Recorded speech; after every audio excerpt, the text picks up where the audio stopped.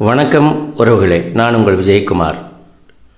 இன்றைய வீடியோ பதிவிலே சுசீந்திரம் தானுமாலையன் சுவாமி திருக்கோயில் வழிபாடு திருக்கோயில் பற்றிய புனிதமான விவரங்களை எல்லாம் மக்களுக்கு தெரிவிக்கும் விதமாக இன்றைய வீடியோ பதிவிலே நான் வழங்க இருக்கிறேன். முதலில் இந்த சுசீந்திரம் திருக்கோயில் எங்கே இருக்குது நாகர்கோயிலிருந்து கிட்டத்தட்ட ஒரு நாலரை கிலோமீட்டரில் தான் சுசீந்திரம் திருக்கோயில் இருக்குது இந்த திருக்கோயில் நடை திறக்கும் நேரம் காலையில் அதிகாலை ஐந்து மணியிலிருந்து மதியம் பன்னெண்டு முப்பது மணி வரை இருக்குது. மாலையில் வந்து நாலு மணிக்கு நடை திறக்கிறாங்க. தரிசனம் ஐந்து மணிக்கு கொடுத்துருக்காங்க. ஐந்து டு எட்டு வரைக்கும் நாம் தரிசனம் பண்ணலாம். இந்த திருக்கோயிலில் என்ன ஒரு சிறப்பு அப்படின்னா இந்த திருக்கோயிலில் அத்திரி மகரிஷி அனுசியா தேவி இவர்கள்லாம் முனிவர்கள். இவர்கள் தங்களுக்கு குழந்தை வர வேண்டும் வரம் வேண்டும் என்று சுசீந்திரத்திலே தங்கி தவம் புரிந்து குழந்தை வரத்துக்காக இருந்த இடம்தான் சுசீந்திரம் மும்மூர்த்திகளும் குழந்தை வரம் தருவதற்காக அவர்களே குழந்தையாக அங்கே இருப்பதற்காக வருகை புரிந்து அவர்கள் மானிட ரூபத்திலே அம்மாவிடம் அனுசை அம்மாவிடம் உணவு வேண்டி சிவனடிகள் வேடமணிந்து உணவு வேண்டி வந்து கேட்டபோது அவர்கள் சம்மதித்தார்கள் சிவனடியார்கள் வந்திருக்கார்கள் அவர்களுக்கு உணவு வழங்க வேண்டும் என்று. ஆனால் மும்மூர்த்திகளும் இட்ட நிபந்தனையானது பிறந்த மேனியாக இருந்து எங்களுக்கு உணவு வழங்க வேண்டும் என கட்டளையிட்டதனால் அனுசயா தேவி அம்மா அவர்கள் தங்களுடைய திரு கண்ணில் இவர்கள் யார்? அப்படின்ட்டு பார்க்குறப்போ மும்மூர்த்திகளும் இங்கே வந்திருக்காங்க அப்படின்னு சொல்லி தெரிஞ்சிட்டு மும்மூர்த்திகளே நம்முடைய வீட்டிற்கு வருகை வந்திருக்காங்க அப்படிங்கிறப்போ சரி அவர்களுடைய நிபந்தனையை நிறைவேற்றும் விதமாக அவர்கள் அத்திரி மகரிஷியை வேண்டி அவர்கள் தங்களுடைய கமண்டலத்தில் இருக்கக்கூடிய புனித தீர்த்தத்தை அவர்கள் மேல் தெளித்த போது அனைவரும் மும்மூர்த்திகளும் குழந்தையாக மாறி குழந்தையாக மாறியதுக்கு பிறகு உணவு வழங்கி அவர்களுக்கு பணிவிடை செய்தார். மும்மூர்த்திகளுடைய மனைவியார்கள் சக்தி தேவிகள் அனைவருமே எங்கே சென்றவர்களை காணவில்லை. அவர்களை என்னாயிற்று என்று அவர்கள் தங்களுடைய ஞான திருஷ்டியில் பார்க்கும்போது சுசீந்திரத்திலே இது போன்று குழந்தையாக உருமாறி அங்கே அனுசியா அம்மா வந்து உணவு அளித்துக்கூடிய செயலை அவர்கள் கண்டதுக்கு பிறகு அவர்களிடம் வந்து வேண்டி பிரார்த்தனை செய்து மும்மூர்த்திகளையும் மீண்டும் சுய ரூபம் வழங்குமாறு அவர்களிடம் பணிந்து வேண்டியதன் அடிப்படையிலே மீண்டும் அனுசியா அம்மா அவர்கள் அவர்கள் மும்மூர்த்திகளுக்கும் சுய வடிவம் வழங்கி அற்புதம் நடத்திய இடம்தான் இந்த சுசீந்திரம். அதனால் இந்த கோயிலுக்கு உண்டான சிறப்பு குழந்தை பாக்கியத்துக்காகத்தான் அங்கே. குழந்தை பாக்கியம் வேண்டிய இடம் அது. இன்னும் கூட சொல்லப்போனால் நம்ம வீடு கட்டி தடை ஏற்பட்டு அங்கே நம்மளுக்கு பொருளாதார சிக்கல் இருக்குது வீடும் பூர்த்தியாகணும் அப்படிங்கிறவங்க இந்த திருக்கோயிலுக்கு நாம் போய் வழிபடலாம். இந்த திருக்கோயிலானது மிகவும் அற்புதமானது. ஒரு ஆஞ்சநேய சன்னதி. பதினெட்டு அடி உயரத்தில் அனுமன் அவர்கள் வந்து காட்சி கொடுக்குறாரு. பதினெட்டு அடி உயரத்தில் அவருக்கு வந்து நெ- பசும் வெண்ணெய் சாத்துறாங்க. வழிபாடு பண்ணலாம். மிகவும் சக்தியானது.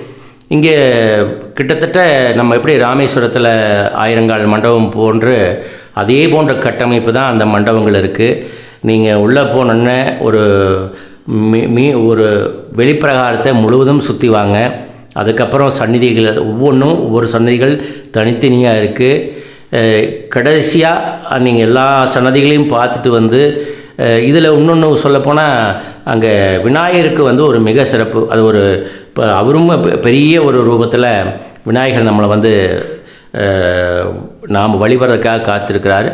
அவரும் வந்து ஒரு பார்த்திங்கன்னா நம்ம பிள்ளையார்பட்டி விநாயகராட்ட அங்கே அவர் வந்து ஒரு சிறப்பு வாய்ந்து இருக்குது விநாயகர் சன்னதி மிக அற்புதமாக இருக்குது எல்லா தெய்வங்களும் இருக்குது இதில் குறிப்பாக சொல்லப்போனால் அங்கே மும்மூர்த்திகளும் அனுசை அம்மாவுக்கு வந்து காட்சி கொடுத்ததுனால மும்மூர்த்திகளும் சுயம்பாக இந்த அந்த திருக்கோயிலில் வந்து காட்சி கொடுக்குறாங்க. எல்லா தெய்வங்களையும் பார்த்துட்டு வந்து கடைசியாக அவங்கள வழிபட்டுட்டு வாங்க. மிகவும் சிறப்பு. இதில் அங்கே முன்னாடி பார்த்திங்கன்னா பெரிய ஒரு தெப்பக்குளம். நம்மளுக்கு வந்து இந்த திருக்கோயிலுக்கு முன்பு தெப்பக்குளமானது மிக அற்புதமாக இருக்குது அங்கே எப்பவும் தண்ணீர் வந்து இருக்குது நீங்கள் ரொம்ப நேரம் இருந்தால் போய் முதல்ல நீங்கள் தெப்பக்குளத்தில் நீராடி வழிபட போங்க. இதில் அங்கே குறிப்பாக சொல்லப்போனால் அந்த பசுமெண்ணி சாத்தோனும் ஆஞ்சநேயருக்கு. அவர் பெருமாளுடைய அம்சம் அவரை வேண்டிட்டு வந்தால் நல்லது நடக்குங்கிறது அங்கே சுசீந்திரம் தானுமாலயம் சன்னதியில் இது ஒரு மிகச்சிறப்பு. அனைவரும் கண்டு ஆனந்தம் அடையுங்க பக்தி பரவசம் அடையுங்க.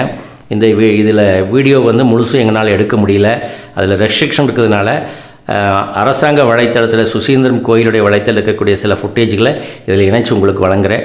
நீங்களும் இந்த வீடியோவை கண்டு நீங்களும் ஒரு முறை நாகர்கோவில் போய் நாகர்கோயிலிருந்து நாலரை கிலோமீட்டர் தான். அங்கிருந்து ஒரு குறுகிய ஒரு பத்து கிலோமீட்டர் தான் கன்னியாகுமரி. நம்ம அம்மாவும் கூட தரிசனம் பண்ணிட்டு வந்துடலாம். அதனால் ஒரு ஒரு ரெண்டு நாள் நீங்கள் டைம் ஸ்பெண்ட் பண்ணி போனீங்கன்னா அங்கே பல தலங்கள் இருக்குது மிக அற்புதமாக இருக்குது இந்த திருக்கோயில். நானும் வழிபட்டுட்டு வந்தேன். நீங்களும் சென்று வழி வந்து வழிபட்டுட்டு வந்து ஆனந்தம் அடையோன்னு நான் உங்களை கேட்டுக்கிறேன். நன்றி வணக்கம்.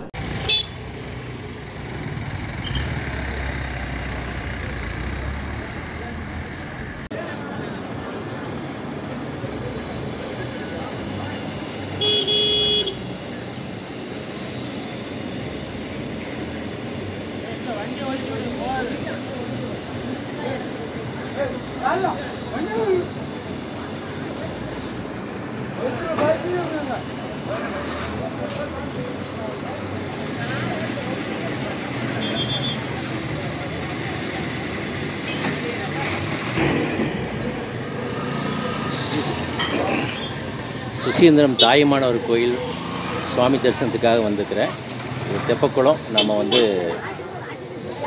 இவ்வளோ பெரிய தெப்பக்குளம் பாருங்கள் இந்த தெப்பக்குளத்தில் இப்போ நம்ம கை கால் அலம்பிட்டு சாமி கும்பிட போகிறோம்